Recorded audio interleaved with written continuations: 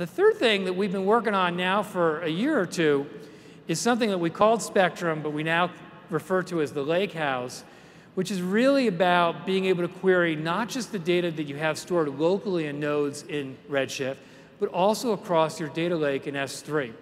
And not surprisingly, as people start querying across both Redshift and S3, they also want to be able to query across their operational databases where a lot of important data sets live.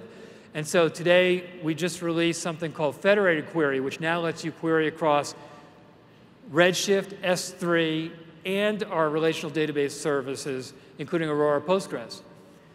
And then when you're doing this querying across all these data stores and getting these aggregated data sets in Redshift, customers want to move those data sets back to the data lake because they want to let all the other analytics services and machine learning services be able to use those as well. And that actually turns out to be difficult and a pain in the butt to actually do. You have to do all kinds of work.